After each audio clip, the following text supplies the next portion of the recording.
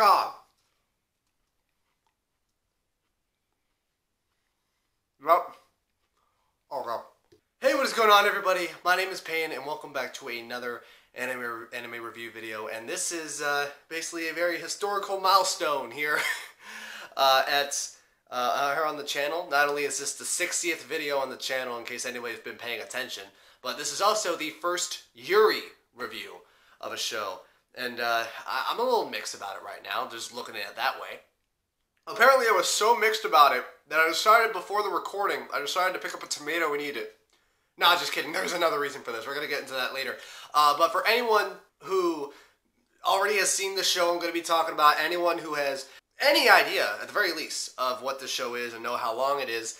Uh, this is the first show in a while that I've reviewed where there's been multiple seasons. In this case, there have been three seasons plus an OVA plus a two episode special, which I don't normally talk about that much. Normally, I talk about like just one 12 episode season of a show. But for some reason, by fate, like by absolute chance, I watched all of this show. Like I have all the shows picked on a wheel, and I don't know how fate basically told me to watch this show. So I'm assuming fate's also telling me to eat this tomato and review this show on my channel as well. So here is the one and the only Yuru Yuri. Yuru Yuri started off as a manga written by a creator known as Nomori and was distributed by a magazine known as Comic Yuri Hime. They mainly specialize in Yuri manga if anyone is interested in that shit. Uh, another anime adaptation that came out of Comic Yuri Hime was Citrus, which the only opinion I can get is that Yuri Yuri's better. um, but uh, as of two, as of the making of this video since 2008, it currently has 16 volumes, and it follows a club at a middle school known as the Amusement Club. It has its own separate like house, like right near the school, and it follows four main characters, the four main members of the amusement club. There are three childhood friends. The main character Akari, uh, the airhead Kyoko, who says some of the weirdest shit in the entire show. Uh, there are stuff that she would say that's along the lines of like. One example I can think of, this isn't nothing she said, I just had this stuck in my head. Uh, the 9 11 moon landing is an outside job, weird shit like that. And then you have the voice of reason, Yui, who is someone who is trying to like calm the waters in in uh, in a certain situation. And then there's a fourth character known as Chinatsu who originally went there because she wanted to join another club that she didn't know already disbanded. So she joined it, and freaking Kyoko fell in love with her because I, I don't know. She looks like an anime character. I that's the best I can do without spoiling anything. But yeah, also Chinatsu is one of a couple of reasons why this show is labeled a quote unquote Yuri anime. I don't know what I was doing with this hand. Uh, but there are bunch of other characters as well, but to simplify what they do in the entire series, it's a slice of life show, nothing happens. Uh, it is that they just do nothing productive with their time throughout the entire series or an amusement club. There's also other characters as well, such as the student council, who is upset with the fact that they don't do shit, led by the show's tsundere Ayano, uh, who is the who's a part of a running joke of where she runs into the amusement park room calling out Kyoko by her full name. I actually found a video where there's a lot of examples. I'm going to link it down below. I'm also going to show five seconds. Here it is. 年の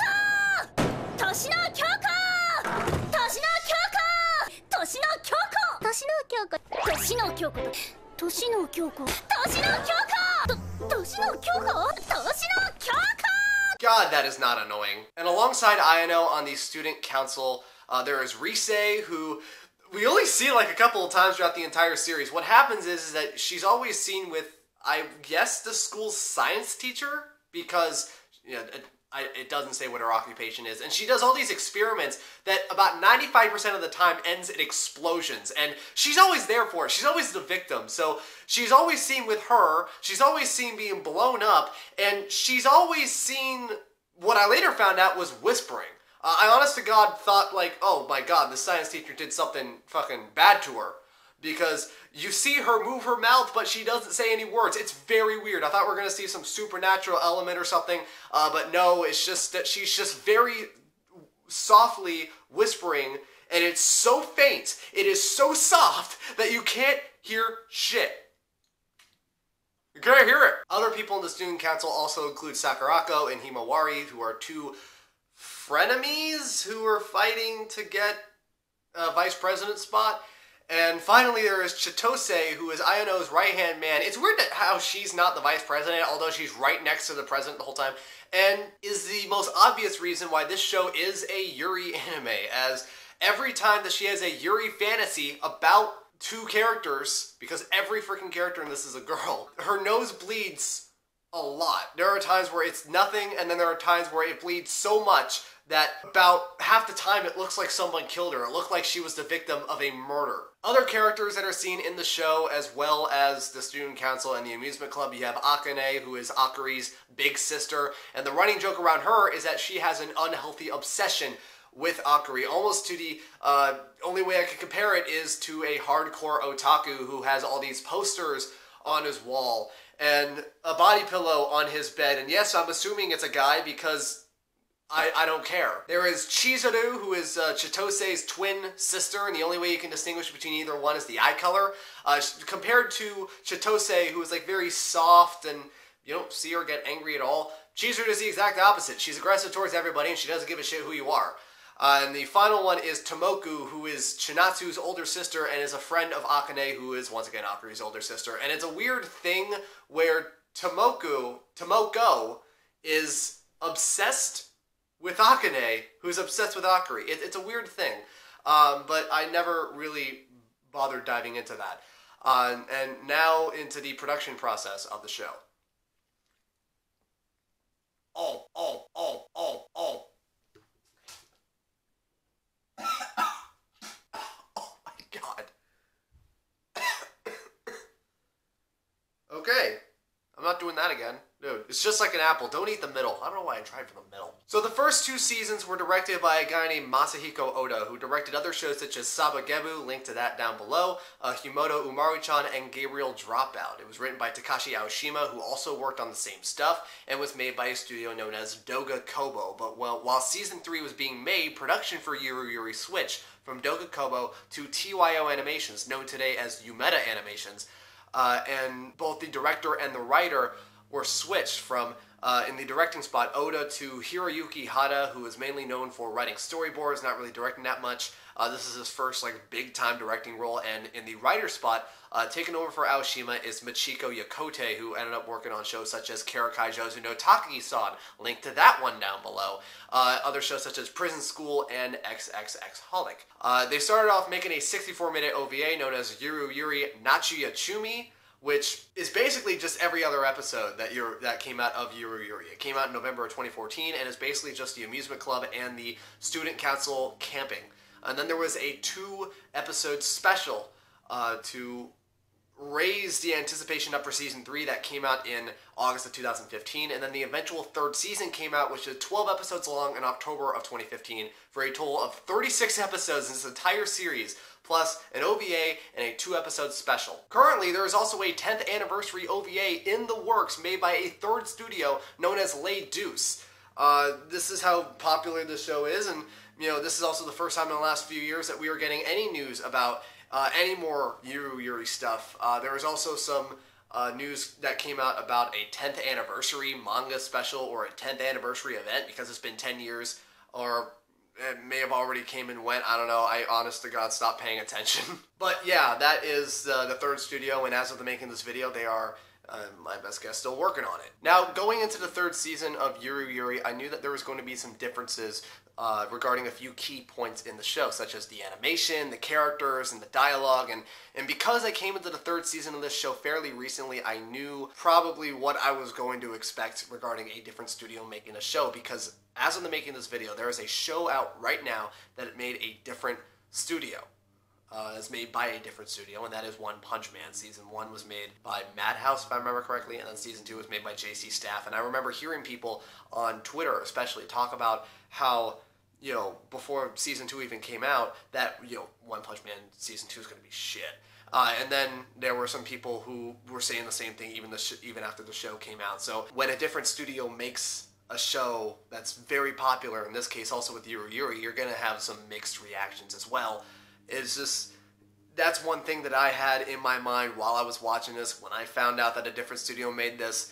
Uh, so after watching the rest of season three, I was partly right So for the first two seasons of Yuru Yuri, I'm gonna call them Doga Kobo episodes just to you know make it easier on me. Relied mainly on over-the-top gags and experiments. Like uh, at the beginning of every every episode, where Akari is breaking the fourth wall, speaking to the viewer, and in some cases completely vanishes after like the like the first five seconds of an episode. The beginning of a running joke where she doesn't show up at all because she's supposedly the main character.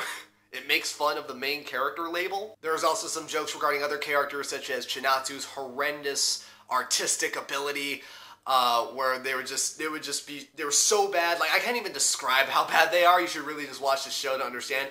And uh, once again, Chitose's constant nose bleeding. Uh, and the constant overreaction, and of course, Ayano always barging into the club's house, yelling out Toshino Kyoko is her full name two or three times an episode. And the Doga Kobo episodes were highlighted again by the crazy gags and the lack of Yuri undertones. But as the third season was made by a different studio, there was a different end result. First off, season three and the OVA and the two episode special, I'm going to call them the TYO episodes to make it easier on myself again, uh, they were more calm than seasons one and two. Instead of relying on what made the show unique from other slice of life shows to begin with, TYO cut out most of it entirely, with the only remnants of it being not two or three times an episode, two or three times in that season, where, you know, there would be a, a bloody nose scene from Chitose, or Ayano yelling out Kyoko's full name. That only happens two or three times in the entirety of season three.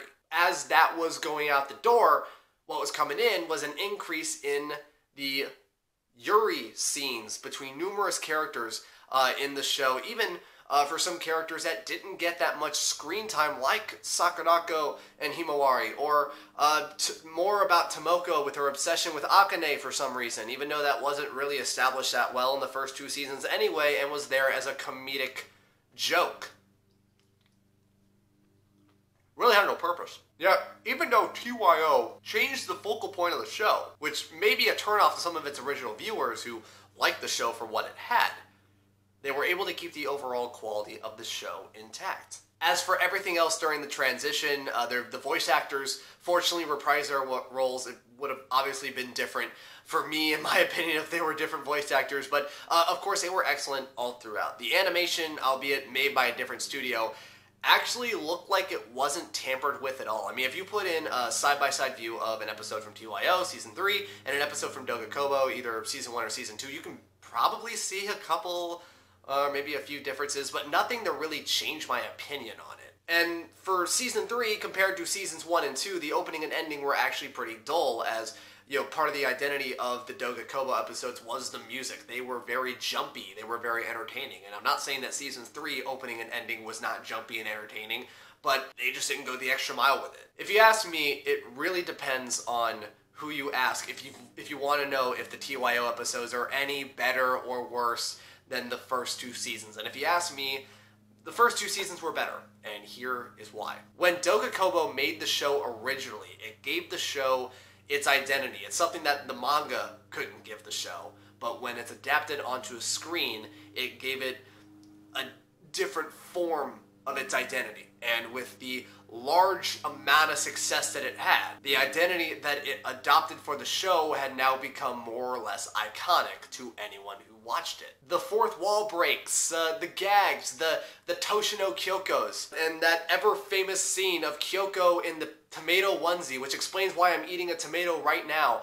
Uh, even if you've never seen the show before, you've seen the onesie. It's been referenced to no end and probably won't be for a while. But when the project goes to someone else, chances are that that person or that group of people will make the show into a different experience. Kind of the same thing with One Punch Man. You can argue that it's not, but you know there are people who are saying still to this day season two doesn't li- uh, live up to season one. Season one is a in a completely different ballpark. But for me, I'm gonna have to say the same thing for Yuri Yuri. Season three did not live up to the hype that season one and two gave. Even though that's my opinion, it doesn't stop me from being a fan of the show nonetheless. And so, uh, because I want to keep up with the usual rating system uh, that I've had with this channel, I'm going to rate all of these in five separate categories, in five separate seasons. Starting with season one, I'm going to give Yuri Yuri season one an 8 out of 10. I'm gonna give season two a nine out of ten. Uh, for the OVA that came out that just has the amusement club and the student council camping, I'm going to give that a 7 out of 10 because that basically didn't bring anything to the table. Uh, I'm going to give the two episode special an 8 out of 10, and I'm going to give season 3 a 7 out of 10 to finish it off. And thank you guys for watching this video. If you like Yuri, if you like this review, hit the like button down below. If you want to see any reviews like this in the future, you can hit the subscribe button either on the screen or down below as well. And if you want to see any videos that I made uh, in the past, there are videos on the screen in the description and also down below in my channel as well. And once again, my name is Payne. I'll see you in the next video.